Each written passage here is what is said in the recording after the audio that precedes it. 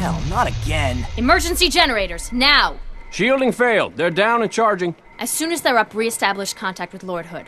I come to make an announcement. Shadow the Hedgehog's a bitch ass motherfucker. He pissed on my fucking wife. That's right. He took his hedgehog fucking quilly dick out and he pissed on my fucking wife and he said his dick was this big. And I said that's disgusting. So I'm making a call out post on my twitter.com. Shadow the Hedgehog, you got a small dick. It's the size of this walnut except way smaller. And guess oh what? Here's what my dong looks like.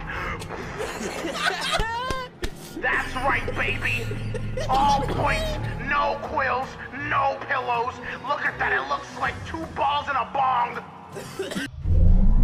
Cocky bastard just loves to run his mouth.